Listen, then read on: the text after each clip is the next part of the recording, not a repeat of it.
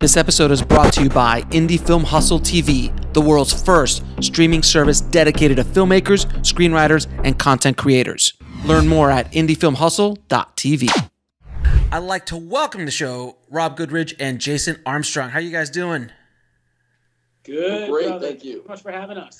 Thank you so much for, for coming on the show, guys. You guys are, are you guys are as they say in fuego right now, uh, doing a lot of uh, a lot of productions, and uh, I want and you have a very kind of like a different way of doing what you guys are doing, which I really want to kind of get into. But before we get started, man, how did you both get started in this insane business?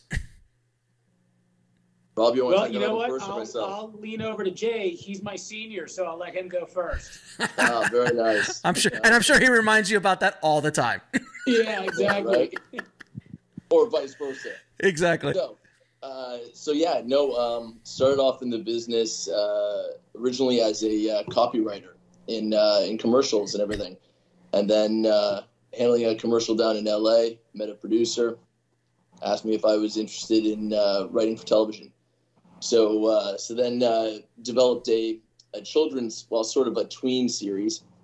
Uh, at that time, he had an output deal with Nickelodeon. So it was originally something for Nickelodeon, and then Disney came in and and uh, sort of swept swept uh, swept it away, took it and worked uh, worked on that, um, and then created another series. Um, I would say probably about a year after that, and uh, and then you sort of fall into that writers' room of you know sort of the in-house writers and and everything else. But uh, that was sort of the the early you know the early stage into the business was was very much from a writing perspective, Mhm. um, and then in that tween world, and then started slowly moving into producing you know my own content, uh, having a little bit uh, a little bit more control, obviously, right over over the creative, um, to an extent, to an extent at that Mhm. stage, and then. Yeah, and then did a lot of uh, children's series, produced a lot of children's series, um, a lot of co-pro deals. At that time, I was in Canada, so I was doing a lot of co-pro deals between Canada and the UK. Mhm. Um, and then just kept uh, kept rolling into uh, to different things. There was some obviously some lifestyle stuff that came into play, and Sure. then, uh, and then and then dove into uh, into the features. And how about you, Rob? Well, you know, it's funny. I never, uh, I never considered myself much of a film guy growing up. I always enjoyed going to the movies. I enjoyed renting movies. Um, but you know, as far as telling you who was in every movie, who directed it, just never really was my forte. I, I never took a huge interest. What I did find was that I had a really good rapport uh, with people, and I had a good, good ability to to sort of put pieces together. Um, I found that through playing sports as a kid and, you know, always sort of being in a leadership position. So I, I, I guess through college, which had no film intentions, uh, I started to develop more and more of, a, of an interest in entertainment. Uh, I ended up working on the music side first, to be honest with you. I was working with a lot of artists, helping to coordinate um, sort of like those uh, radio concerts that they would do uh, seasonally. So what that really did was that taught me how to work with artists and work with sort of the in and out demands of not just a rapper or a band or this or that, but their entire entourage. And so it was sort of a culmination of taking my ability uh, to sort of put puzzle pieces together and my growing fascination with film. So through that sort of music thing and, and introductions to a lot of managers and sort of that that circle of the high level music world, I uh, I took an interest in film and I I did what we all sort of hope hope we all do is I PA'd. I PA'd on a ABC reality show which I will not name. Realized that that was not for me. Uh, and then I got a call from Paramount that said, "Hey, you know, you, you you worked with Justin Bieber on the music side. Would you have any interest in coming and sort of uh, consulting as a producer with us on the Never uh, Say Never Bieber tour, uh, which Paramount did?" So I had worked with some of the other producers on that prior, uh, and that really sort of kicked it off. I mean, I think it's I, I don't know if I had a career path set in mind. Uh, I've always looked at producing in sort of a broad scope. You know, I, I think entertain entertainment is entertainment, and what is entertaining to somebody is different to another. Right. So I I've always taken my background in music, transitioned it into film uh, and a little bit of TV, as all sort of just being the same thing. You know, it's all just sort of management from top to bottom. So uh, through that, ironically enough, years later, uh, that's how Jay and I met. okay. Under the roof at BMG Music through through a colleague um, who said, "I think you guys would really mesh well." Um, and so we had both sort of taken our own paths in the film world and, and had some success with that, and certainly climbed our way up and, mm-hmm. and touched every corner of the business and had some success and had some failure and got our bruises. But uh, by the time Jay and I met at BMG Music, uh, it was actually to discuss a film and immediately hit it off. And, and, and, I think it was that perfect moment where we collided and, and could really complement one another with where we were at in our own careers and where we were, you know, aiming to go. You know, it's so funny because you know, I've been in the business now for twenty odd years, and uh, you know, when you're when you're working with somebody, especially a, a producing partner, it's like dating. Like you're getting into a marriage. You are, you know, yeah. there's no question about it, especially when you're like on one project, it's like that, let alone multiple projects over the course of years. So uh, that's something a lot of filmmakers don't really understand about the partnership scenario. It's you're dating before you get married. And Absolutely and you're you're married after you you signed the deal to make the first film, and then you're like, all right, we we dated already. Right. You know, and we could divorce after this project, but we're going to go through this project together. oh, are you kidding? As soon as you create an LLC, you're Done. pretty much common law. Yeah, common law. exactly. you know? no question yeah. it is and, and there's so you guys seem to like you know from what i was able to gather uh, through your imdb profiles you guys have been hustling for a while uh, in your own worlds. But it seems like when you guys got together, in more recently actually, you just started all of a sudden like you were in a lot of productions and a lot of different things going on at the same time.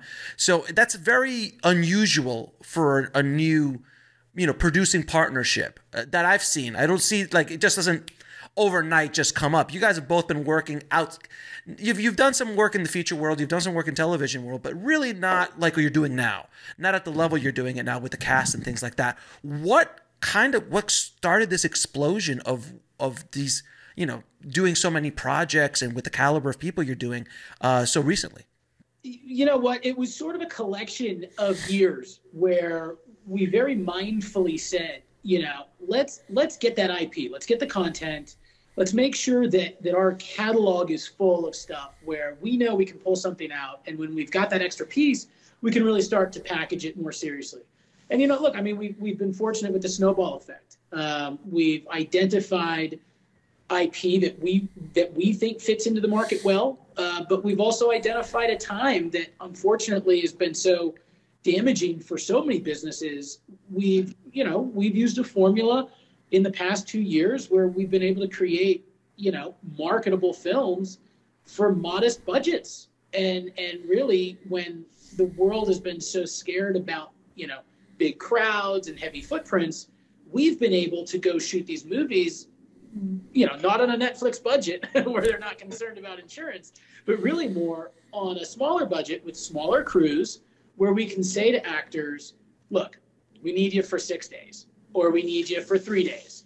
Uh, we've limited our shooting schedules, and you know this the scope of our films are sort of in that mid range. But you know we've shot six this year as a result, and I think that snowball effect when you can go to an agency and actually deliver a fee on time in escrow, and you can get an actor to come and have a pleasant experience. Uh, it really has a positive effect, and I mean we're fortunate now where we've got a lot of agents calling and saying, "Hey, what do you have that I can sneak a, an actor in?" Or would you look at, would you look at this project? Uh, so so we we really were aware of not trying to jump the gun mm-hmm. uh, and just make a movie to make a movie, but really be a little bit more strategic in, in how we rolled it out. Yeah, and also I would say I'm just sort of uh, add on to that. Um, you know, through that time, a story can be achieved in just the same way and have it be self-contained. You know, I mean, you can still have great stories that doesn't that don't have to have an incredible number of company moves and have all of these different settings. There there was, you know, through COVID, there was this opportunity to still have, you know, tell great stories and focus very heavily on the character development through the story. And that could be achieved, you know, with fewer cast members, uh, fewer locations, um, and still, you know, still deliver great content. That that did speak to the market. So you know, it, it was it was just that opportunity, and to, and also to touch on uh, the other thing that you mentioned, Alex, with regards to sort of moving quickly. Um, I feel as though there's you know everyone sort of if they've been involved in the business from every angle over a long period of time. So I mean, like Rob and I, like before we were mentioning about PA, you know, worked as I mean, I've been a scripty, you know, I've been a continuity director. I mean, I've been a genny op. I mean, so like I carried through all these things. And what happens with all that is you have you start to develop this very very large network. And when you find someone to partner with that isn't so safeguarded and protects that network, because I, I feel a lot in our industry, you know, even if people partner together on one film, mm-hmm. they're like, oh, these are my guys, or these are this is my network, this is who I access. Mm-hmm. And the problem is that just puts up these walls immediately that shouldn't be there because this is a collaborative business. I mean, that's right. that's where you thrive. And I feel as though Rob and I, when we partnered, our success sort of happened very quickly because there were none of those walls. It was each of our networks became one large network, and we were able to sort of pinpoint where certain strengths on certain projects could stand and and access those um, without delay. And I think that's sort of you know that's that's what you that's what you need to do if you're going if you are going to partner together and build a slate and evaluate IP and determine whether the market speaks to that you know that content and everything you need to be able to be an open book with right. regards to what your access is um, it's interesting because if I go go back to the analogy of the marriage, when you start dating someone or you even start moving in with somebody, uh, you don't have a joint account just yet. You have separate you have separate accounts and then look when you have a joint account it's serious. Now we're sharing our money so it's the same thing you're sharing your contacts you're sharing your network and by doing that you're able to basically put gasoline on the fire because yeah. you're able to access so many things yeah i've been with i've you know i've i've i've, I've partnered with people they're like yeah i i hang out with tom cruise every weekend i'm like can can can you can you talk to Can you talk to Tom Cruise? No, no, I can't. That's very sensitive. I can't talk to Tom Cruise. I'm like, yeah. What the hell are we doing here? I'm using that as an example. I don't know anybody who knows Tom Cruise, but anyway, but you know what I'm saying. but, but I get the point. You get the point, like, and it and it could be something as like, oh yeah, me and Thomas Jane go hang out and we go golfing. Uh, oh, can we maybe pitch him this project? You're like, ah, well, that's uh, it's my that's my connection with Thomas. That's not with you know. It's weird, right. but it, but it's it's kind of this whole energy that a lot of people in the industry have of of lack of of of fear because you you know I think you both can agree this entire business is run on fear. Hollywood is oh, yeah. run is completely run on fear, on FOMO, fear of missing out. Huge deals have been dropped, huge amount of money have been dropped purely on the fear of losing out. Uh, and, and, if and we and we unfortunately have seen some of those movies. over the right. years. But um, but Rob, you were talking about your formula. Can you kind of dive into this this formula that you that you guys are working on that are, are able to do all this in today's environment? Because I think you probably started prior to COVID, but you were kind of like primed, ready for it when it came out in, in a way. Yeah, we really were. Um, you know, it's interesting. Look, at the end of the day, for any filmmaker, it's always about money and, and, and not necessarily, hey, how am I going to make money, but how are we going to source money? Right. Uh, and I think that's where that's where I think we really separate ourselves. We, you know, we're, we're genre agnostic. And, and by what I mean by that is we, we don't marry ourselves to a horror film or a drama or this. I mean, we're looking at the market. We're filmmakers, but we're also businessmen. Mm-hmm. And we want to be able to say, all right, if I want to do this one day, I have to have the track record of doing XYZ before that to be taken seriously. Right. And so we're really in the business of establishing partnerships, creating, you know, good relationships with people. I know that sounds sort of cliche. So a big part of our formula is, you know, who do we like to work with? Because who can we call next to say, all right, guys, you know, I'm in I'm in Las Cruces, New Mexico right now. So, okay, guys, here's the tax credit here. Here's where we know where certain soft money sits. Can we go to the usual partners? So we start to analyze a project based on certainly location and what those tax credits look like, so we can get some semblance of where where our financing structure comes into play. As that's happening, we're in daily communication with our sales partners, our distribution partners, really working backwards so that we can say, all right, this finance plan actually does fit in line with the scale of the film, the budget. We can make this type of movie with this amount of crew, for instance. We're a union uh, production company. We're always hiring union crews. So by working backwards, obviously, like a lot of filmmakers, we're in daily communication with those distributors or those sales companies saying, okay, what do we think about this cast list? What do we think about this? So that everything that we're doing, we're checking a box so that we don't have that, pardon my French, that oh shit moment, you know, when we're in post and go, oh, I, if I just did this differently, if I just had that actor or I just thought about that other scene differently. So we really, we try to work backwards to a degree. Uh, one of the things, you know, that I, I think has been working for us is you know we've built some good relationships with talent. We've we've got actors that enjoy working on our sets. We try to keep it relaxed, and you know we welcome the creative feedback and collaboration. So when we're able to call an agent or an actor and say, "Hey, we've got this project," or they're calling us and saying, "I'm looking for something for two weeks. What do you have?" Well, that's such a big piece of the puzzle mm-hmm. that we're then able to really get that packaging process going a lot faster. You know, we're we're not necessarily always hunting to make a movie, bring it to a festival, get all the awards, do everything. I mean, it's a different climate today, as we all know. I mean, we're very interested in exploring and evaluating every project and every sales opportunity every day that we're prepping, filming, and in post so that we're always elevating the value of a project. We're looking at streamer deals, we're looking, we, we look at theatrical, but we're always exploring what that best fit is for any film. And we've been very fortunate. I mean, New Mexico's been terrific, Massachusetts has been terrific, Toronto's been good to us. So um, I, I, hope that answers part of it. I, I, sort of went around and around. So you so what you guys are basically saying is don't shoot a two million dollar period piece personal film with no stars attached, shot in black and white. Is generally is generally not what you want right. to do, and that's the approach of so many filmmakers. They just like I want to make art. I'm like great. If you want to make art, make it for five dollars. Don't make it for five million and and mortgage your house, which I've had people on the show who've mortgaged their house, have lost their house right. because they're like, "Hey, I think this is gonna go." It's the craziest. It, it, our business is so insane because I've talked to investors and they're like, "You guys, this is insanity." I'm like, "It is," yeah.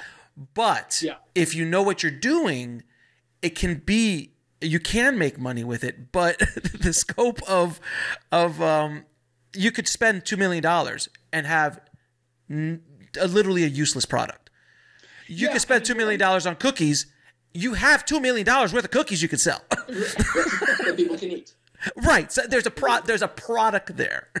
Absolutely. Yeah, you know, and we're not afraid either. And I think it's important to be honest in this business. I don't think you have to be a jerk, but I think it's good to be transparent. And look, I mean, we know how to finance films. We know how to package talent. We know how to sell films.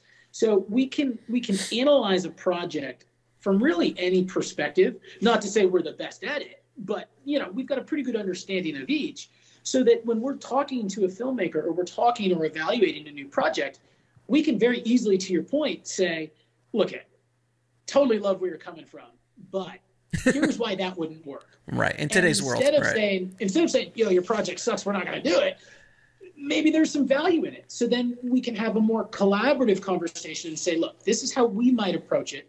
These are the types of people we might bring into it to help you see, you know, this follow through with your intentions. We never want to say no to any project off the bat, but we are pretty quick to say, here are the things that we know won't work. And that's based on real time experience, real time market trends, real time investors, etc. Now, well, I mean, the other thing, the other thing I would want to say too is, I mean, a lot of art is a time and chance, right? I mean, it really does play by time and chance, especially within the arts. So there are things that are going to speak to certain time.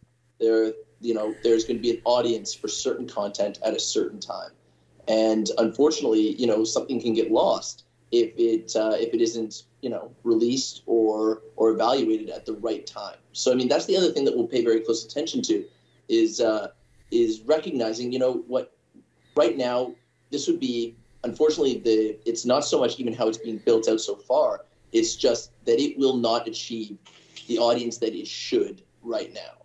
So in order to and then that and then that becomes just this lost art. And to your point before it is a business. So if it's if you are going to do it as a hobby in the arts then that is one thing.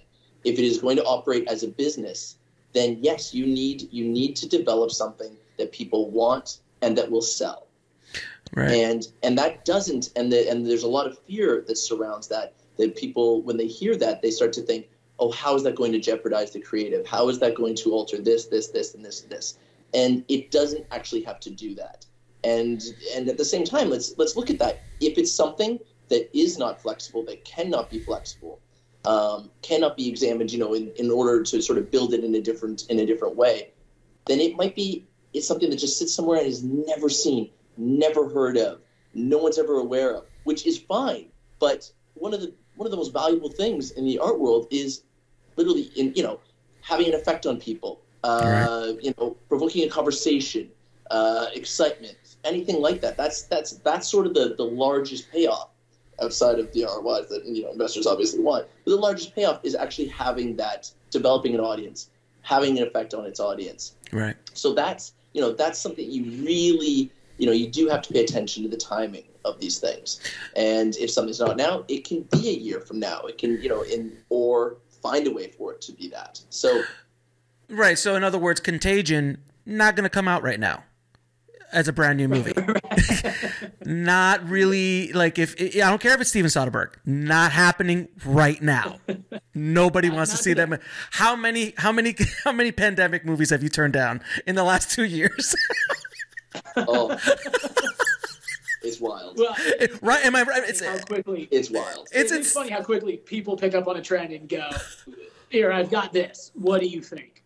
I I've been yelling on my show for the last two years. Nobody wants your pandemic script. Nobody wants to watch yeah. it. Nobody wants to see it. I don't care if Meryl Streep's in it. Nobody wants to watch that because we're living it. It's kind of like having a terrorist movie a week after 9 11 so uh, one of the things uh, is there something that you see in your in your day to day some mistakes that you see filmmakers make when they're pitching to producers uh, or trying to pitch you guys a script or or a project or something like that? Because there is a you know I do my best with this show to educate as many filmmakers as humanly possible about the realities of this business. And the realities of like don't run up to you at a Starbucks and go here's my script. Read it. I don't know who you are. You don't know who I am. I mean you don't know who I am but here read it. There's certain ways of doing things. Is there mistakes that you consistently see that you can kind of call out and hopefully help some people listening? Well uh, Jay, I can jump in first. I mean, I think I think a common thing that sort of gets under my skin a bit, just because it never works, um, and I never, you know, look, we've all pitched something before, right? So I, I don't ever um, shame anybody for doing that. You know, when you come up and you say, "Oh, I've got money attached, or I've got these investors or this actor," I want to call BS every time. I mean, one of the ways that Jay and I typically vet a project in about five seconds is I say, "Tell me where your bank account is, and I'll make a one dollar deposit." Because if they've got a bank account open, well, then they're more of a business to me. But it, how do you have these investors and how do you have this infrastructure set up to make a movie that we can just jump in and start packaging if it's not really set up? And then it's the phantom investor or it's the phantom actor who, to your point earlier, is like the cousin of Tom Cruise that went out once, but oh, I don't want to call him yet because he's, you know, in Uruguay. So that's a big red flag. You know, right. when I, I would much rather see a project when somebody says, Hey, I love this movie that you guys just did. I think I have something that might connect with you, might not. Let me just send you a log line. Or would it be okay if I just sent you some preliminary info without all the baggage? you know, then it could be more appealing to sort of say, oh, you know, this is pretty cool. Let us follow up. Let us see where it's at. Because we have the tools to help package that if it's something that we like. It, it's just sort of the. the so the so letter so the letters of intent, not so much. Yeah, a letter of intent is. Uh, I think that's such an outdated. Let's check out those you know, signatures. It's nice. It's nice to have, I guess. But, No, no, you- it's to be honest. Be be honest. It, it, it's absolutely almost useless. It's like it's literally it's absolutely almost useless. Letters of intent. I oh god, I was up. I was packaging a deal, uh, and the producer was like, "Oh, we have this letter of intent from this Oscar winner," and the, and I saw it, and everywhere he, I mean, literally, if he could have tattooed it on his freaking chest, he would have tattooed because everywhere he walked in, he's like, Yeah. "Here's my letter of intent with this dude that I spoke That to and convinced." The first talking point. Yeah, the first talking point is like, I have a letter of intent from this Oscar winner. Here's his signature. So all that says to me is that you were able to con this poor older You had a actor. with a letter of commitment. No, no, the, the letter of what? No, no, that's a letter of intent, sir. of intent, and then you had a letter of commitment. There's so a- like a letter of intent from the talent, a letter of commitment from the financing. No, commitment. Stop it. Uh, Well, you know what? Here's here's the here's the behind the curtain of all of that, right? I mean, Yeah. we obviously work with a number of the agencies and, and Sure. projects from them, and they'll have talent, quote unquote, attached that aren't quote unquote attached. So it's hard enough for the people that are in the industry, the Right. managers, the producers, the talent, Yeah. to actually have a project that is that far along. So when you've got somebody that is fairly new to the game or trying to break in or has a great idea, it's just that much more unbelievable to no fault of their own, but it's just such an uphill battle. I mean, really, where we are in an industry right now and, and where we've had some success, not to give the company sauce away, but look, you make an offer, you make a pay or play offer, and you deliver the funds. And that's going to make it real to an agent. And it's Yep. amazing how quickly that reverberates through the industry. Oh, wow, they, they actually escrowed that talent a day before it was due or the day Oh. it was due oh yeah. and they signed the contract. So that's what makes it real. No one is attached until that money is in that account. And for better or worse, where we are, I mean, it's such a competitive market right now. There's so much out there, and there's so many places to put content that you've got to make it real by putting the money in the account, and you got to be willing to part ways with it. And with that comes a lot of risk for producers, but you know, you got to be confident in what you're doing. You got to Yeah, roll. You have to be confident in the model that you put together, right? Because there's always been a filtering system that's existed, right? We know that. And it's because otherwise there'd just be so much being channeling into all of these outlets. And now there's just so many. So the filtering system has just become even more uh, prominent and important. And so a way to actually get around that is to have everything built. So if you are going to engage, you have the money to engage. It's not it's not oh we're engaging and then there's going to be this long period of time where nobody's talking about it because you couldn't really have the follow through. That's you know immediately that's a red flag and people aren't going to take you seriously. So the second that you do engage with the people that you do need to put your project together, everything has to be in place so that if you get a yes, act on it immediately. and that is uh, that's refreshing because that doesn't happen in our business at all. Uh, it's a lot of talk. It's a lot of talk, a lot of like you know lip service and all this kind of stuff. And I mean, God, how many people are like, oh, I have this guy attached, or I've got this money's about to drop. Oh, I love that term. The money's about to drop tomorrow. It's dropping. Oh, we got pushed back. Oh, because his allowance hasn't hit yet because you know he's a multimillionaire in England and uh, his wife gives him a million dollars every month as a and and he just wants to be in the movie and we've I'm sure I'm not telling you stories you've not heard. Small role. It's a small it's a small little role like maybe at the bar or something. You know, give him two lines and he'll finance the whole movie. Like we hear all these stories and by the way, everyone who's not watching this, we're all laughing. We're all look, we're all we have smiles on our faces because we've all heard these stories before. But it's so fascinating over my career, it doesn't change No. what those stories that we're just talking about happened to me in the 90s mm. when I was coming up and they're still happening today and they think that they work and that's why I kind of call out you know letters of intent and like Oh, but what all this kind of stuff that's all kind of fluff you know or I could get this guy on the phone or I once walked by this person or you know I I park cars or where this guy plays golf or something there's always so many of these stories, but what you guys are doing is interesting because you're actually, I don't know, doing what you say you're going to do, which is Yep. oddly a rarity in this business.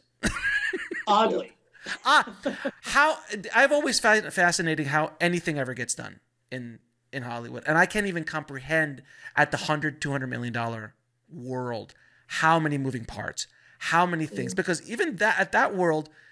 They're still financing these things. There's still there's still banks. There's still like you gotta get Oh, absolutely. I mean, it's not like Disney's just writing checks, though they probably can at this point, but they're smart enough not to use their own money. Yeah. right. Yeah. you know, it's it's Well, you know, insane. our, our big thing too is look. I mean, we've got we've got projects in the pipeline for the next year or two years that that are those studio level films. But for right now, where the world's at, where we're at, we control the clock, you know, and we're able to really we're, we're able to work with ads and work with line producers and work with directors that we can talk to every day and and you know we can control the financing and the model and control the sales and control the marketing you know to a degree right? But we're able to control the clock a little bit more which is which has been helpful. And it, it keeps us busy mm-hmm. but it allows us to to sort of work with and to spit out a product that you know we know sort of shares the integrity that we went into it with. Can you guys talk a little bit about the importance of a bankable star based off of budget? So, you know, because I always tell people, like, look, if you got a $50,000 movie, anytime you can put a bankable star in, even if it's a face, do it anytime at any budget range. But as that budget continues to go up, you at that point need to have bankable stars of certain magnitudes depending on the budget. So certain actors can finance a million dollar a two million dollar, even a five million dollar, but they're not going to finance a thirty million. Then you need another two or three of those guys, or you need Bruce Willis to show up, uh, or you need, Right, or, right. you know. And Bruce does, I think, movie a, a week now. I think he's doing a movie a week at I this point. Bruce, Bruce is a, a one day one day shop it just just pops up. He's doing 365 movies this year. It's fantastic. Yeah. Uh, but but filmmakers don't really get that a lot of times, and they're like, oh, I wanted to. Again, it goes into that hobby thing where like, oh, I want to be pure. I'm like, well, I want the best actor for the role. Then do it for 50 grand. Don't do it for 500 grand. So can you talk about the importance of it and then how you're able to attract these actors? I think we kind of touched upon this. Like money talks. So if you show up and drop some money, you're going to get people's attention pretty quickly. we through the years everybody's got a gatekeeper right? And so the agents and the managers they're gatekeepers. It's like any business you, you know you sort of all come up together or you, you meet here and there.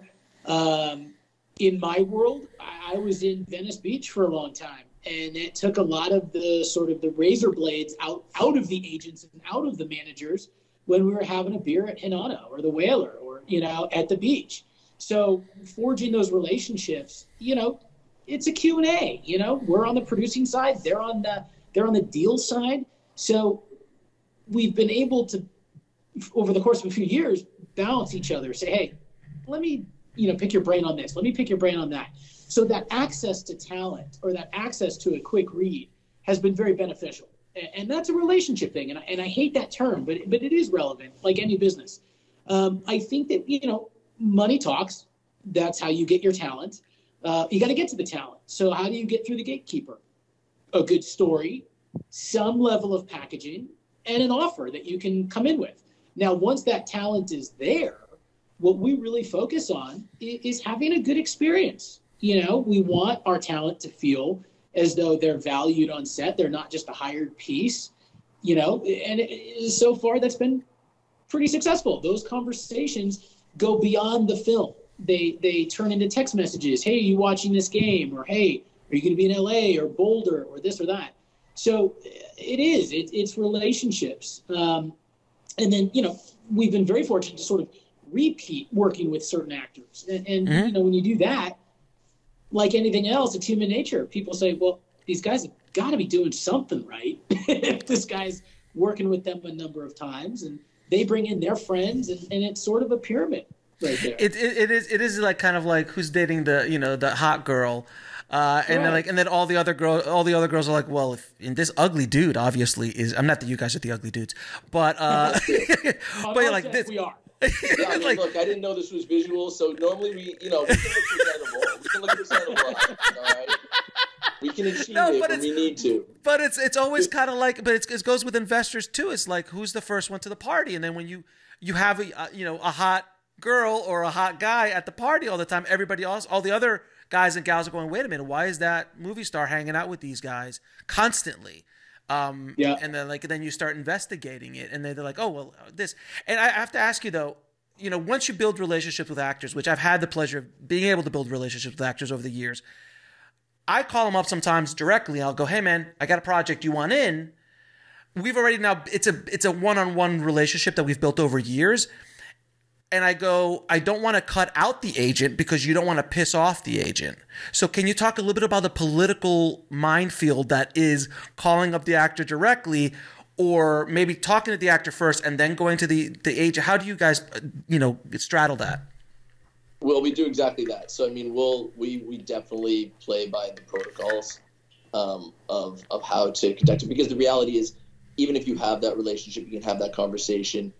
You do need then to engage the team because there's a lot of moving parts behind you know, and certainly in the caliber of the actor or actress, it that you know that team is obviously larger or smaller. There's a lot of moving parts in there, and and you could probably have a creative conversation with talent for a little while but in order for it to become real Right. it has to it has to go through the proper channels and i feel as though there's a lot of cases where there is maybe that one-on-one relationship and uh, and they'll talk about something for a very like for an extended period of time and because they haven't started engaging the right parties it never really gets there because things are being built behind all of these talent like all the time.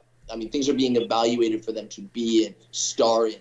Uh, their schedule is filling up. I mean, sometimes their schedule is filling up almost without their them being aware of it. I mean, really. I mean, I mean, they have to, they have to, they have to okay everything. But my point is, it's like there is a machine behind them that is uh, that is handling what they are attached to, what they get engaged on. So, so we typically, and and I don't want to speak for both Rob, like for both of us, but we typically will have that conversation, but then we then we go immediately to their team, uh, so that so that everything there's just clarity and everything is just transparent right from the start. Otherwise, it's like almost hitting the reset button.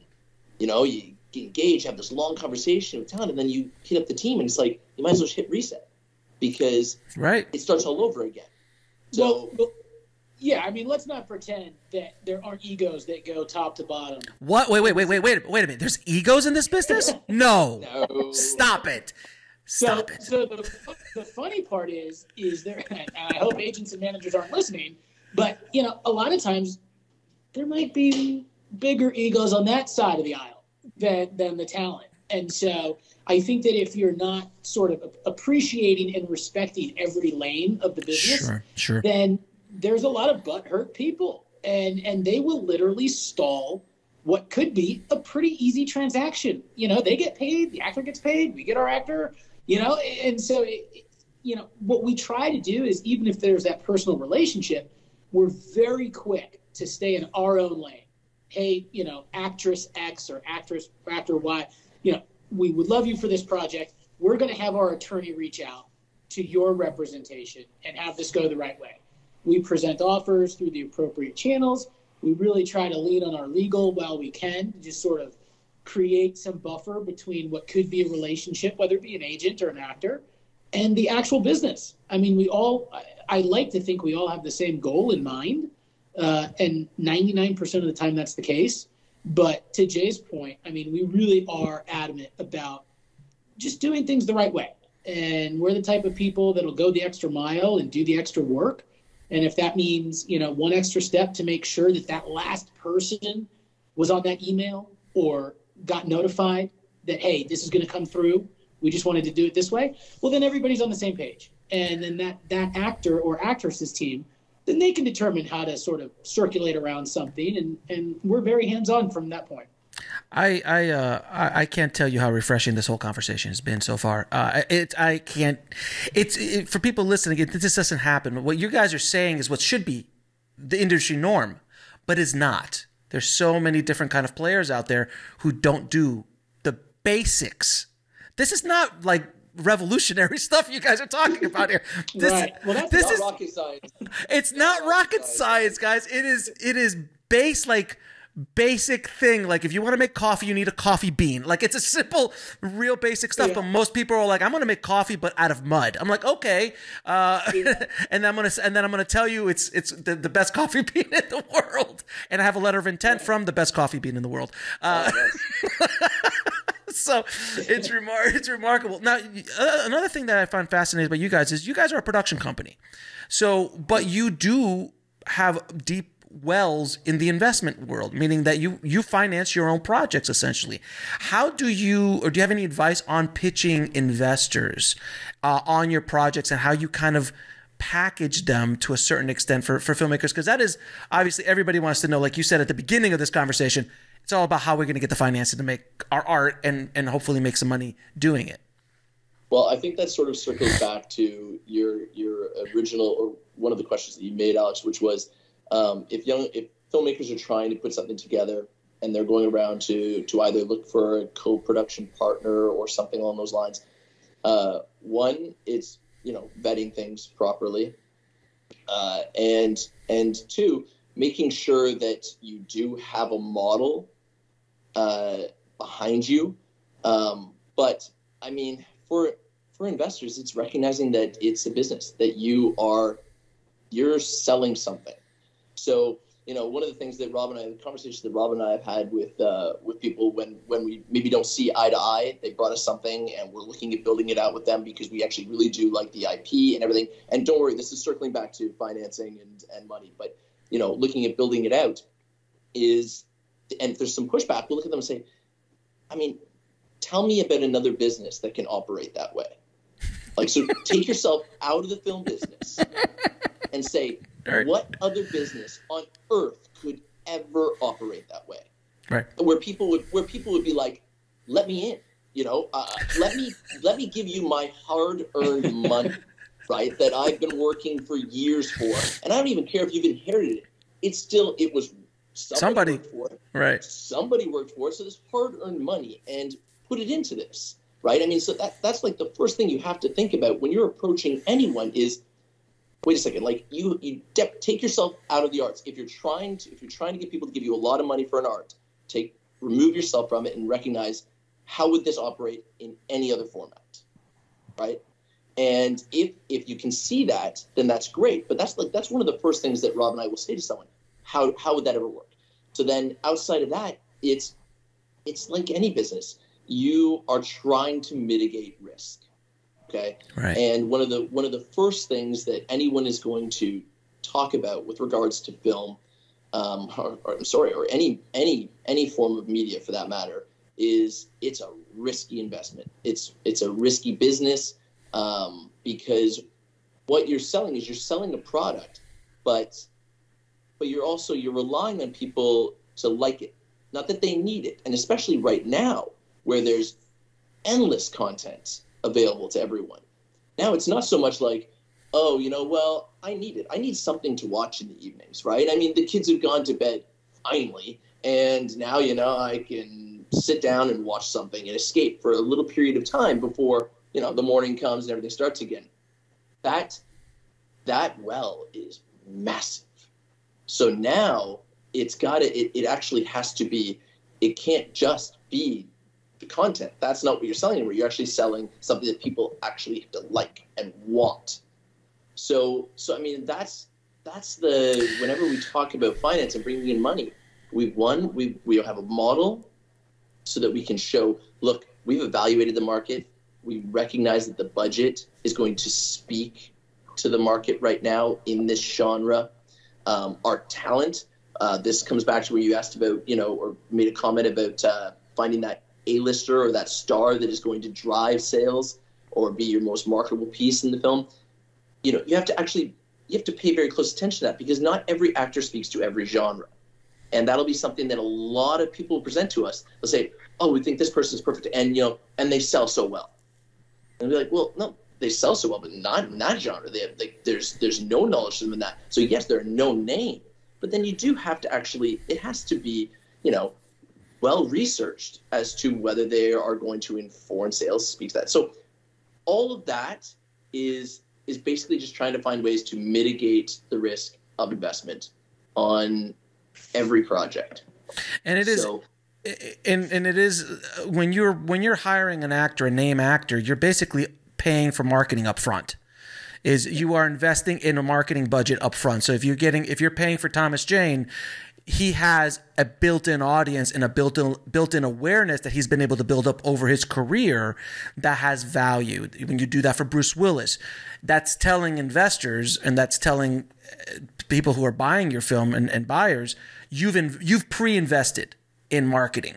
Where in a world where you know films of your size, um, you you can't compete with the studios. There's just no way you can compete marketing money.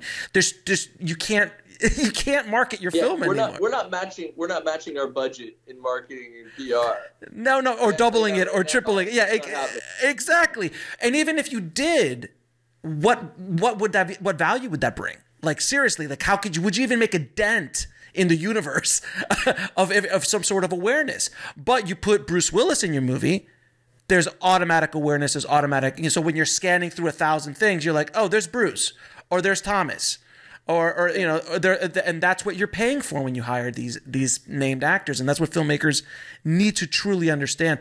And also another thing I always try to say is some actors. We were kind of joking about Bruce. Bruce is still Bruce, and Nicolas Cage is still Nicolas Cage, no question. Um, but there were certain actors who oversaturated the market with themselves, and I worked on movies where they're like, oh, this poor guy like paid a good amount of money for this one actor, but he did 25 movies that year. I'm not exaggerating. Right. And he went out to the distribution companies and like, we already got three of those guy of that guy this year. We're good. And he got s he got saddled with a movie that he couldn't sell because the actor was oversaturated. So there's you've got to kind of figure that out as well. It's it's a it's a lovely tightrope we work we walk. Well, you know, and that's why that's why we do pay close attention and speak pretty regularly with our sales guys and say, you know, what's in the pipeline for this individual? You know, what do we need to be aware of not today, but six months from now? Right. Um, I, you know, I want to add one more thing to the financing. So, two things really. I, I think the most important thing for people to take away is you have to be flexible and you have to adapt. That adapt to the money and you have to adapt creatively because they're they're intertwined no matter what. So, one of the ways that we really kickstart a lot of projects, we have skin in the game. We'll put skin in the game as a company. So we can give an investment group, an investor, another company for a co-pro, some level of confidence that that we're in it. You know, we've got something to lose too. We're working. Money doesn't like being alone. Uh, Yeah, Nobody yeah money doesn't like wants to sit alone. Misery misery loves company. exactly. And it's also infectious. Oh, you know, my neighbor might want to dip yeah, in. absolutely. Um, the other thing I was going to say, in in sort of as we're looking at financial models and as we're looking at sales and how do we maximize something being marketable, Right. we have not not changed the the gender of an actor or an actress in a film. I mean, we have mm-hmm. flipped roles because we've identified. Oh well, you know that actor might be more, tra- more might be better as an actress because we can get this individual in that might increase the marketability so long as it doesn't take away from the creative. And you know, Jay and I are very uh, not pushy, but very upfront with our filmmakers to say, look, any suggestion we have, we're in your corner as a director, we're in your corner as a creative team. We are always going to be pushing for what makes this movie the most marketable, most commercial it can be. Because aside from the money, that means more eyeballs are going to see it. So if there are ways for us to make improvements like that, that's how it all connects. The marketability, the commercialability, the sales, the money, the investors get their money back. They come back to us to say, "What do you have next?" And the actors are happy. so it's it's a win-win-win-win across everybody across everybody's Exactly. and that's uh, again another rarity in our business to, to say the least now one, one thing um, most most filmmakers have this problem and i think everybody at any stage in the in the game other than in the studio system is distribution is actually making money with their product. Because before the you know it, it was the cost to make the product was such a difficult thing and expensive thing. Now you can make a pretty high quality product with the right people uh, at a low cost. But getting it out into the marketplace and actually generating revenue with that um, is more difficult now than ever before in the ever changing landscape where TVOD used to be a thing, now is no longer a thing, really, especially in the independent film market. SVOD is great, but they don't pay you for three years. So how how do you, how do you make that business work? You know, AVOD is great, but you know, so and then foreign sales is not what it was in the '90s or the early 2000s, and you you don't have DVD to fall back on anymore. So how do you guys you know generate revenue with your films. Like how is it like how are you are you doing sales agents? Are you doing pre-sales foreign? What where is that kind of work? I mean obviously don't give me numbers and i don't want your entire business model guys but just generally. No absolutely. I mean look it's we honestly it's it's different with every film. So mm-hmm. i mean that's just a fact. Uh you know there are a lot of there are a lot of filmmakers right now that are a massive part of their finance model is foreign sales so they'll they'll lock in a certain amount of foreign sales, and then they'll maybe try and leave domestic open. But more often than not, they'll you know make a big domestic deal too, and then they'll evaluate what that shortfall or that gap could look like. And is, it, is this pre is this pre production or is this after production? Pre production. So you're pre-selling. You're pre-selling based yeah, on ca- pre-selling, on pre-selling to foreign, um, and then even looking and then looking at an MG domestically uh, and then evaluating what a gap or a shortfall could look like. Okay. Now, that so that, so that that that that's why that's when you have to pay very very close attention to the film. So you know to how it's how that genre has been performing over the past couple of years, um, how your talent within the in the film have been performing, or who you're looking at signing into the film uh, have been performing over the past couple of years. Because if you have sort of pre-sold the film to all the major markets. And now you're you, you are recognizing that you still have a gap or a shortfall, and you're filling that with potential equity um, instead of, or maybe looking at your senior financing and thinking a bridge or something along those lines. The problem is that where that is where you can find yourself in a spot where you're turning to someone, you're saying, "Well, this is what's left, and you know we need this as a as a shortfall. Do you want it as equity? You know, make an equity investment." Where are you pointing to the potential ROI? For that money for the right. person that's coming in. Because you've pretty much sold the film everywhere where it's going to perform well. And if if you were so in need of the money to make the film to greenlight the film that you weren't able to evaluate the best deal either from a domestic sale or in foreign um, you weren't really looking at the windows you know or like when it was going to be available. So you're all of a sudden you're sitting in a spot where sure you've got a complete model if they fill the gap but how are you how are you explaining to them where they're going to see revenue? Right. Right? Because things are going to get eaten by the foreign distributors and then the sales agent's going to take their fee and then it comes mm-hmm. back in and then if you were working with a senior financier to cover all of that then they've got their fee and then that's coming out and and then all of a sudden there's all these things that are getting paid out ahead of this gap shortfall. And the gap or shortfall doesn't even have any collateralized territories or profitable territories to sit on. So so that's something you have to be very, you know, conscious of when you're when you are examining that sort of pre-sale model, uh, which we do. Uh, and then if uh, you know if you if you have a strong enough relationship with with sales and distributors and you can engage in these conversations and not have to perhaps you know sell your film right up front, mm-hmm. but but have those conversations, recognize what its worth is. Um, again, that's a lot of that is relationship based, but it's also having worked with them in the past and sure. delivered, right? So so there's there's that and then then when you're speaking to to someone from an equity standpoint hard money as opposed to soft money you can say look we've deliberately left this this this and this open and let me show you how this genre and this talent has performed, and not not five years ago. Now. Yeah. So no no Blair Witch projections. Uh, no, no paranormal activity projections as a horror movie in your sales pitch. No, like it's no. they made a billion dollars. You could too. I know. There's a lot. Yeah, Alex, that's one of those other ones when they show you the comps and they're from 2003, and you go, oh, no. I don't Blair, know about dude. This. Blair Witch is still on every low budget horror movie uh, comp ever. we, we, see Insidious and uh, Blair Witch. on Parano- pa- and paranormal. Don't forget paranormal. yeah. but see that's but that's also so that's that's that's that's the other you know that's you know where that's what brings up a very important subject we we deal a lot with sort of savvy investors Right. so that have already been in the game so they expect a certain thing from our model um, they know that if they're going to get engaged uh, if they're evaluating it from a from hard money standpoint that that we have we have we can answer to their ROI we can answer to their immediate ROI and and we even have room in the waterfall right I mean because you know people love talking about the waterfall but you know Right. there's so many cases where the gap and shortfall it would take so long for them to even get their ROI, their initial ROI on their investment. Oh. Forget about the back end points.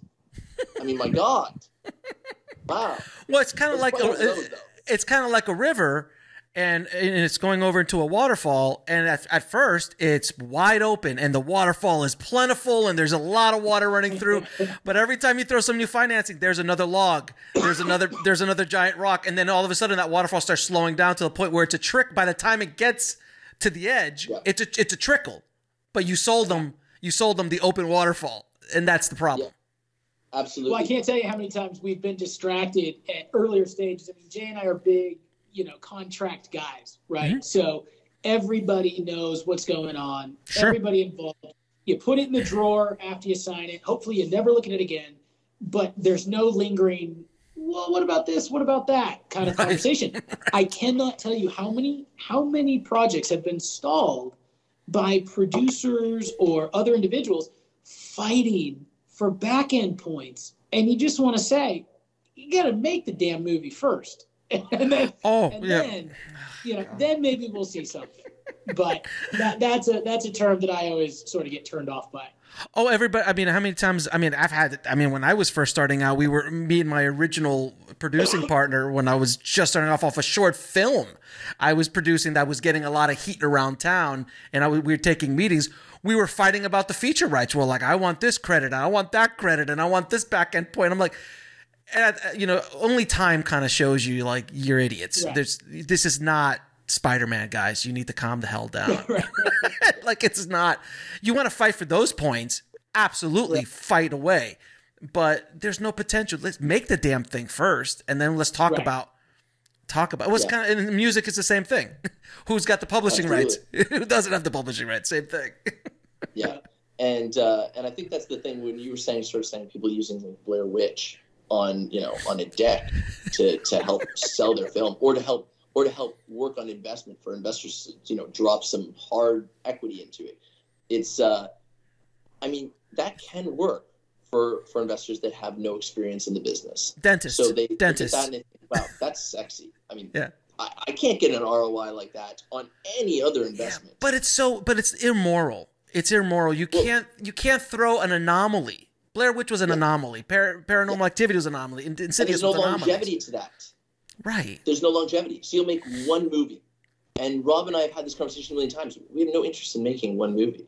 Right? Right. And that's so if you if you deceive, Right. essentially that's pretty much what it is. If you Yeah. deceive Of course. investors or you deceive partners that are coming in on your project, Mhm. they're never coming back. And anyone they know is never coming back. So you you haven't forged a relationship that's now going to come back on your next two or three films. It's toxic. They're You've to- yeah, toxic. Yeah. You're starting from scratch all over again on your next film. So you, Well- you, you put so much work into building that out for it to go nowhere. And that, business. and that, and, and again, on top of that, you're not even starting from scratch. You're starting worse than scratch because now you've got a bad reputation out there, and now you got to fight That's when you against move. that. That's Huh? when you move, Alex. That's when you move. You, that's when you move from Louisiana to Atlanta, and then from Atlanta to New Yeah. Mexico, and New Mexico to Vancouver. Well, it's crazy because it's such a it's such a big big business and it's expanding across the world. But it's a It's small, small world. So business. you piss one person off, that travels. Dude, you have no idea. Like, I'm sure if you and I started, if you guys and I started like talking off air about who we know, I promise you, we know pe- the same people. And I and I've talked to so many people on the show, and I'll be like, "Oh yeah, I worked with that guy, or that guy. I, I started with them when they were coming up, or oh this guy or that guy, eh, eh, this this gal." And it's it's people think it's a big business. It is not. Everybody knows No, everybody. Very small world. It's very small, and I, I it never ceases to amaze me how small of a world it really is in our business. And if you piss somebody off or you do somebody wrong, it will come back to you. There's no Always. question. Oh yeah. No question about it. And the best advice I ever got uh, for being in the film business, and everyone listening knows this because I say it at, nauseum: uh, don't be a dick. Right. And that goes from the grip to the PA all the way to Are the producers kidding? and the director. Absolutely. Because Yeah. you don't want to work with it. You don't want to work with a dick all day. Well, No. you know, I almost find it takes more energy to be a dick than it is to just either be nice or walk away. Or well, that's for you because other people have made it into an art form of being a dick. Uh, Uh, I've seen it. have you run into Have you run into that guy? I've run into that guy. He must, there's only one. There's only the one guy in, in Hollywood uh, who who's a dick. Everyone else is super cool. But uh, now, um, Yeah. so what are you guys up to next? What are your next projects? So we're out in uh, Las Cruces, New Mexico right now, doing a film called Squealer uh, with Andy Armstrong of the Armstrong family. Huge stunt coordinating family. Andy is behind the camera right now, big second unit director. So our our idea behind that was let's take a sort of a horror thriller actiony film and punch the hell out of it and really pump up the stunts, make it look like something people haven't seen before. We've got Wes Chatham uh, Theo Rossi, Katherine Moennig. Our cast is growing. We're attaching two more today. Uh, we're thrilled about that. Um, we dropped a, a pretty good nugget the other day in Variety. We've acquired the rights to uh, famed adventurer John Fairfax, who, if you haven't been familiar with who this man is, the most interesting man in the world commercials were based off of him. Wow. Uh, so we're we're very excited. Rode the ocean twice, single oar. This guy is wild. single Just an absolute or wild- single oar, really? Yeah. Yeah. So I mean, I would advise anybody to go to his obituary, New York Times, John Fairfax, 2012. Your mind will be blown. So, So you we're mean to tell me that sharks have a week dedicated to him? Is what you're saying? there might be something in the works there. Uh, but uh, but no, we're uh, we're looking at a couple big properties. We just uh, we just optioned something with Thomas Jane. We're going to co-pro uh, his next movie, a western, uh, late spring, uh, and a number of things in the works. I mean, we've we've been very comfortable um, and excited and happy living where we've been living right now. Uh, and I think 22 and 23 are going to see us take a take a leap uh, leap forward with some some sort of higher caliber, higher scale projects Nice. uh, that really, instead of doing this four to four to seven movies a year, probably get it down to about three or four Three or four bigger bigger ones as opposed to four to seven. bigger pictures. Yeah, yeah. but that's but man, making four to seven super fun. Uh, And, that, and look, that's, that's from a that's from a producing standpoint. I mean, we're always, you know, if we're EPing a project, that's fine. If there's Sure. something that makes sense for us and we can be of use, we're always looking and we're always happy to help friends or find new projects.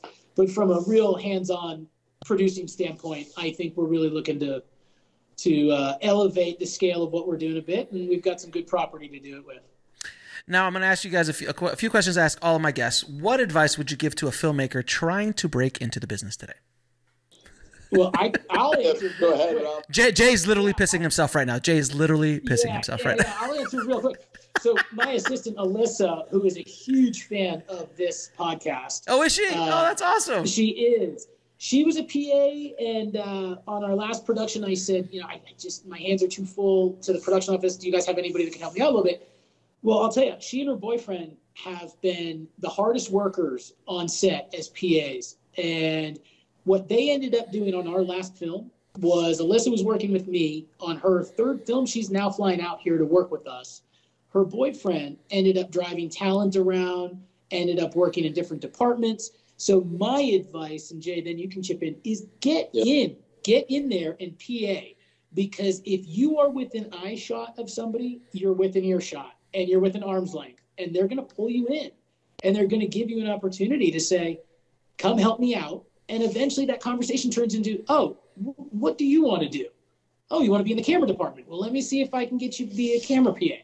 Something along those lines. Uh, my big thing is start at the bottom. You know, you don't have to have a script. You don't have to try to be a filmmaker to be a filmmaker. I, I would really urge, you know, try to get in on the ground and do as much as you can on set or in an office working with the people that are doing it. Yeah, awesome. I mean, so just to touch on and, and carry off of what Rob said, the yeah, I mean, really get engaged, get really engaged because understanding all the roles is so valuable. I mean, even if you're a, even if you're a screenwriter, an aspiring director, um, anything, understanding ev- everyone's job that's required in order to produce these things, to deliver these things, because it's a lot of moving pieces. And if you're ignorant to any of those moving pieces, it's going to affect your ability to to to properly present yourself or your material. Um, so so yeah, I mean, get in there, get different jobs. You know, even if it's not something that you want to do, learn it so that when you do actually get that door open to to the to the field that you love, you can actually speak intelligently. But what you need from different departments, different key heads, everything else. Um, and then I would say outside of that, don't be precious. Just don't be precious over your material, right? I mean, God, the number of people that are sitting on potential IP and they're like this. Well, I just it, this isn't the right this isn't the right outfit, or you know this is I, am worried that they're going to do this with it, or if I show it now, it's not going to work out, and and then I'm gonna you know and then it's going to be gone. So just don't because the truth is you will do that forever and then then that material that you thought was just so valuable it's not relevant or or you've given everyone so much time to either touch on a small piece of it right because you know so many of our ideas and you know so many of our creative ideas that we come up with they're they're triggered from something we've read something we've seen something we've experienced and to think that there aren't a vast number of people that are experiencing the same thing and might have similar ideas or anything else. So get it out there. You see an opportunity, don't hold it close to your chest. You know, be smart, be smart, right? I mean, mm-hmm. talk to Protect legal, it. Sure, sure. Signed, be smart, but don't be precious. Yeah, and I, I, always tell people the business is tough enough, man. You don't need to throw more obstacles in front of you. There's going to be plenty of them along along the way without you screwing yourself up. Just you know, don't as as as a, a, famous sage once said, don't don't push the river. Don't it's yeah. not. Don't push. It's gonna flow. and you know what? The best thing too you said about about you know, don't be a dick. Honestly, our business is stressful enough. Oh God. I mean, be around dicks. I mean, come on. Oh. And we all have been. We all had been when we are coming up. We all have oh, to deal. We all have to deal with either bosses or or egomaniacs or you know or sociopaths. I dealt with a mobster for a while. That's a whole other story. Oh, uh, that's a whole other conversation. Um, you know, I'll tell you a quick story real quick, and, and I don't want to press time, but you know, I was a PA before, and, and we're talking about Bruce Willis, and you know, he was he was due to come into the office, and I was working for a, a very well-known producer at the time, mm-hmm. and he was neurotic. And I was like, "Why are you neurotic?" He goes, "Well, well, Bruce really likes a clean office," which, understandably. And I'm looking around, and I'm like, well, "David, this place is spotless. And he gets on his hands and knees and he gets under a desk and he pulls out a piece of trash. And I go, David, I'll get it, I'll get it. I'm the assistant, right? And he goes, Doesn't matter. We're on the same team. I'm going to get reamed out by him. He doesn't know who you are, doesn't care who you are. And he goes, I'll just do it myself. I'm right here. That little lesson taught me so much. Yeah, man. To just go ahead and do it. We're all in the same team. I don't have to have any level of hierarchy hey, you go do this. It's got to get done. And I think if you can lead by example, uh, it, it, it, travels down all the way down the line. I, and, I, and for somebody for somebody that's coming up, you know, impressions matter. And if you if you listen and if you're if you're astute and you're a go-getter and you don't have to talk to necessarily, you know, just absorb everything and, and be in the room. And I think that that could really go a long way for a lot of people. And I mean, I just saw a, a, video of Keanu Reeves on John Wick Four carrying camera gear up a stair upstairs. Yeah. Uh, on uh, on a company move, and everyone was like, "Look at Keanu Reeves! Oh my God, he is literally you know a saint." And I'm like, he's a human being, man. He's a he's a Right. good he's just a good dude, man. I mean, he's like he's just a good dude. That's all it is. Like he's not like he's not Jesus, guys. You know, but he's Right. he's a good dude, and I'd love to work with him one day, as I'm sure everybody Yeah. would. so, Keanu, if you're listening, any three of us, any of us would love to work with you, sir. We'll we'll make it work for you. We'll make it work for you. Um, now, what is the lesson that took you the longest to learn, whether in the film industry or in life? Yeah. So so you know, Alex, mine is it's it applies to both. I have two young daughters. Um, it, the lesson for me has been to know when to turn it off. So I I've always just been a hustler my whole life, and I Mhm. always thought, okay, I have to do all of these things if if it's ever going to happen. Blah blah blah. You know, part of it's a function of being where we are career wise. That makes it a little easier, but you know, uh, especially through the pandemic, I was much more able to just press pause on everything, have lunch with my kids, and I think that that has translated into work as well, where I don't feel like I need to answer every email within five seconds. um, you know, I, there's a uh, there's sort of this like hurry up and wait mentality in Hollywood, but there's this panic if I don't do it now. So I think the lesson learned for me is that it's okay to sort of take a beat. You know, it's it's certainly been reflective in my work as well because I'm I'm more you know aware of what I'm putting out there, and I'm more conscientious of let's let's just not push push push, but let's actually take a second and sit back. A, take care of yourself for a moment, enjoy what's around you, and B, you know, take some time to make sure that what you're doing, you're doing right. But is that? But that also is is age. I mean, your Yeah. 21 year olds are not generally coming to that enlightened state. Right, Uh, right, it- it- You know, and it took me a while too, man. I've been hustling, as you can see, still hustling with every everywhere nonstop. Yeah. To a certain point, my wife actually said, "You you don't you don't need to garage sale anymore. We don't need you to go hustle out, you know, this or that." Um, Yeah. I, I got a real quick story I got to tell you because it's so funny, and I think it, it really hits this point. Uh, years ago, when we moved to LA for the first time, I I was uh, during Christmas. I, I always figured out how to hustle things, so I figured out that on GameStop there was this video game that you could buy on sale for like $15. But on Amazon, it was on sale for $50. So I was like, oh, wow, this is cool. So most people are like, oh, you must have bought like a whole bunch of things from GameStop. I'm like, no, that's way too much work. So what I did is I posted it on Amazon for 60. Anytime a sale would come in, I would then have buy it off of GameStop, put their address in, and have GameStop ship it directly to them.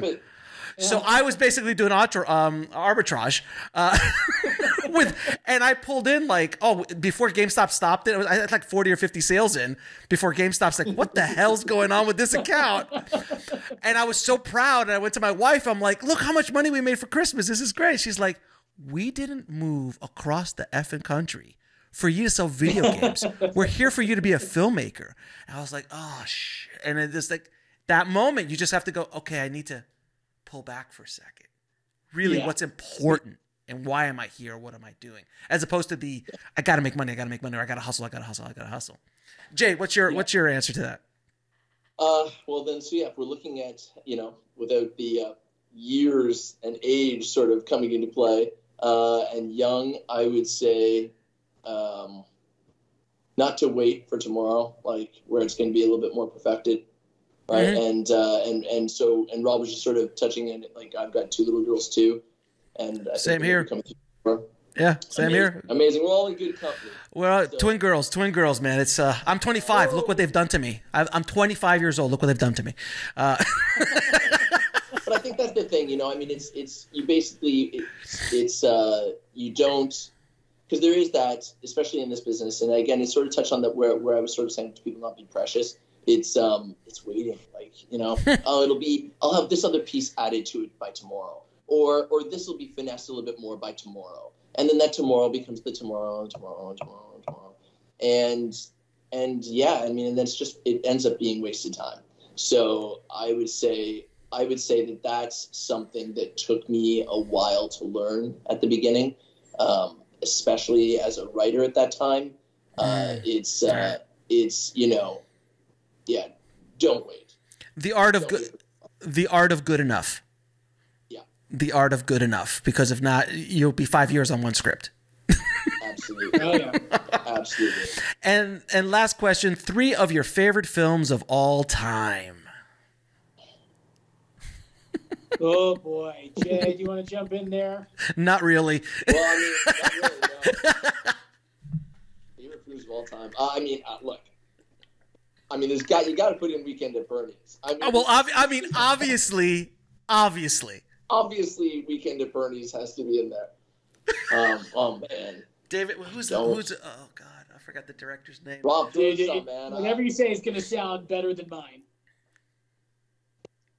I don't know. Weekend You, at Burt. one. you hit one. Hit one. We'll go. We'll bounce back and forth. Okay, so I'll, I'll give you my three, but one of them has an A attached to it. So, in no particular order, we've got Rudy, we've got Tommy Boy, we've got we've got Love Actually. Wow. So that pretty much told me everything I need to know about you, sir. Uh, it's, I pretty much got your entire personality wrapped in those three films. and I'll give you I'll give you my three A and National Treasure. oh my God, dude. I listen. I Uh, told you I'm in this game Ru- because what's entertaining to one is entertainment's entertainment. I swear to God, if National Treasure's on, I am not moving, and I can recite every line. I am. I, I think. I think you and I can have a beer, sir. Uh, those three. Yeah. uh, those those That's a three. good combination. That's a hell of a. Nice. That's a hell of a combo, man. Love We'll actually cry, throwing it. We'll laugh. We'll be on the edge of our seats. Tommy You got Boy. Rudy. I mean, think about it. It's so true though. If you if you actually back up and just evaluate your favorite films by the films that you've watched A thousand an times. yeah. incredible number of times, Yeah. and if it's on, you don't turn off, and you actually don't even start multitasking, but watching. Well, Actually, I mean, that happened what for that? I can't even imagine the hundredth time over the holidays this year. Yeah.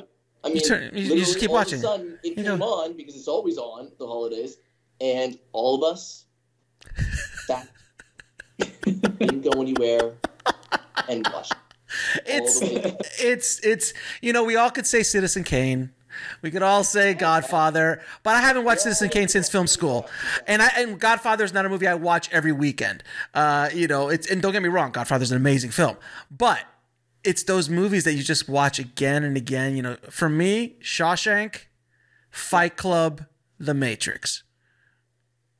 That solid All great. Solid, solid three. Like they turn on, and you could, th- then you want to get into the '80s actions, Lethal Weapon, Predator, Die Hard, Oh, yeah, yeah, and then we, now we could just. See, this is what you this, see. This is what I. This is why I can't do this. And this is what it is every time. I, everyone asks me. I start saying that I'm like this. Oh, but wait a second. Oh, but this one too. This. Oh yeah, Then it's, this- then it's these three. I mean- these three. You know. Yeah, it's So, it, I mean, it, it is. I always like throwing that out there. It's like it's three that come to mind at this moment in time. It will change tomorrow. It will change five minutes from now. But at this moment in time, that's it, boys. It has been an absolute joy talking to you guys. I wish you guys nothing but continued success in what you're doing, and uh, I appreciate you guys uh, coming on and sharing some tr- real, you know, knowledge bombs with uh, with my audience because it, it, they need to hear it. They need to hear from people who are doing it and doing it right. So I do appreciate you guys coming on, man, and con- much continued success to you guys. Thank you. Well, It's been a thank you. It's an honor for us, and uh, we're fans of the podcast, and you know, we're looking forward to making more movies.